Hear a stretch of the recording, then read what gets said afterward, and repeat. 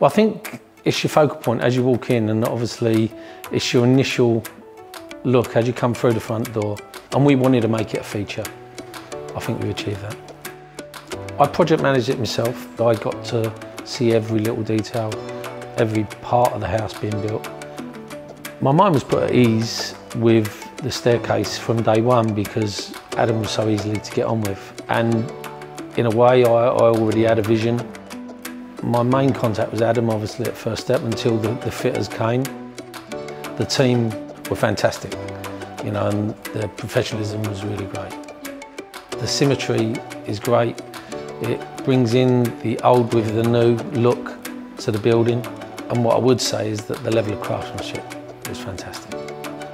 The hallway just sets the tone and I'm so over the moon with sort of the end product. And part of that end product has been the sort of first class attainment to detail that First Step gave us.